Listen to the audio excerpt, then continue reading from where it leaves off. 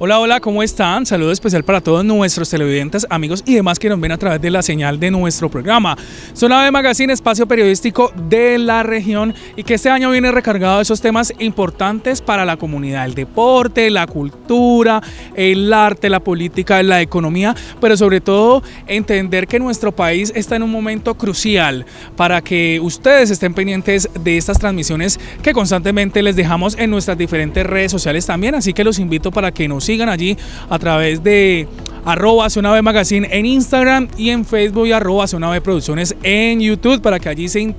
se puedan conectar con nosotros y además interactuar. Recuerde, esta es una ventana para todos ustedes. Si usted quiere contar un emprendimiento, quiere contar una historia, escríbanos. Ya saben, nuestras redes sociales allí lo puede hacer. Y arrancamos nuestra primera información periodística hablándoles acerca de esas estrategias e implementaciones que se están haciendo desde la Secretaría de Salud de Cali en conjunto con Millerlandi Torres, quien nos cuenta acerca del beneficio que habrá al quitar el tapabocas. Recuerde que este ha sido un tema crucial en los últimos días, así que los invito a que vean el siguiente informe. Nosotros desde el pasado eh, miércoles, cuando el ministerio dictó la normatividad de tener por encima el 70% de las segundas dosis o esquema completo de vacunación, eliminar el tapabocas, nos dimos a la tarea de desarrollar estrategias. El día jueves tuvimos una reunión con todos los actores del sistema donde nos comprometimos en tres tareas principales. La primera, ponernos al día con todas las plataformas digitales en las cuales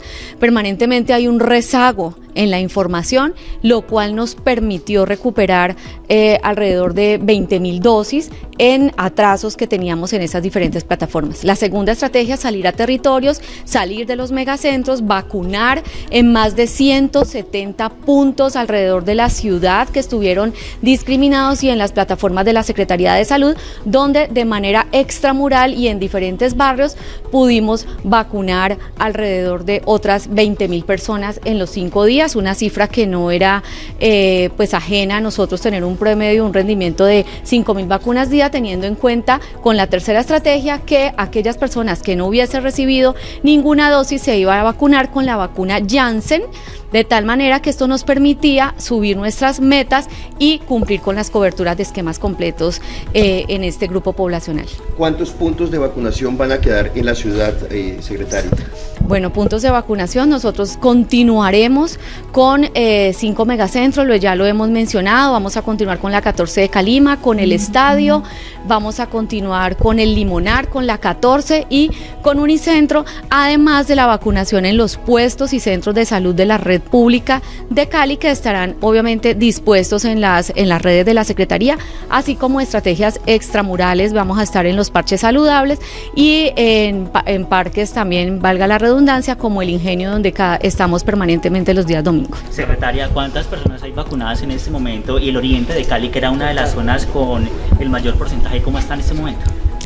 Bueno, nosotros sabemos que tenemos una debilidad, tenemos eh, ya un 84% de coberturas con una dosis, tenemos hoy en nuestras plataformas el 70.4%, una cifra que estamos conciliando con el departamento, con el ministerio, para beneficiar de esta manera a nuestra comunidad. Y obviamente tenemos debilidades en algunas zonas donde hemos diseñado las diferentes estrategias, salir a el oriente de la ciudad con los diferentes grupos vacunadores y a las zonas extremas del occidente, en la zona ladera de la ciudad. Desde ya las personas pueden estar sin el tapabocas en espacios libres o se debe esperar el decreto. Estamos adelantando esa pregunta al departamento y al Ministerio de Salud si ya con nuestras plataformas, con ese 70.4 ya podemos asumirlo o en eh, pocas horas, como lo dice el señor alcalde, ya podemos tener un certificado. Estamos en este momento en todas las conciliaciones de las plataformas, estando, estamos tratando de sacar adelante esta cifra con los registros diarios que tenemos de vacunación, con todo el esfuerzo que hemos hecho, agradeciendo obviamente a las IPS vacunadoras, a todos los equipos de vacunación y a la comunidad que también nos ha respondido.